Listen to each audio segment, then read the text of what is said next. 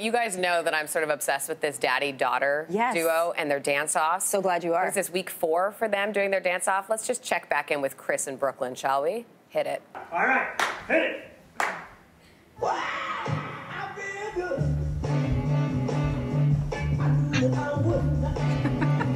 Lindsey.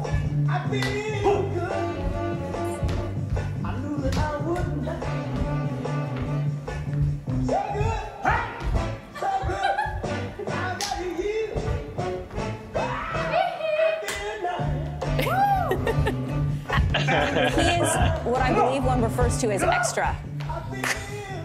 Yeah, is he the one that like small doses kind of people? You know that you Yep. they're really fun from afar, but then when you hang out with them all the time, I don't know. I think I would love this guy. I think I would love him. Yeah. He's a. Uh, my he's clinical assessment is he has lost it too.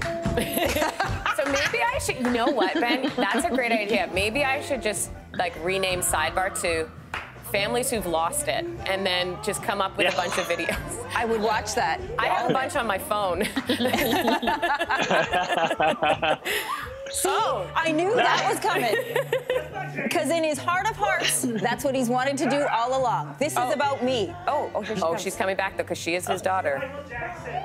Oh, Michael Jackson. Ah, cute. do they have matching God. jackets?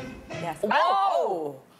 Whoa. Yeah, He's and out. she wins. He's out. He couldn't do that move. Yes, she does win. She does win. Yeah. So ideas. I mean, families who've lost it, or ideas for um, you know quarantine. So those are the two two elements that we're bringing to you today. You guys haven't hit the TikTok phase yet with your kids, but my kids have been trying to teach some of us the dances. And the, last night they tried to teach Daryl a move called the throwback. And what happened?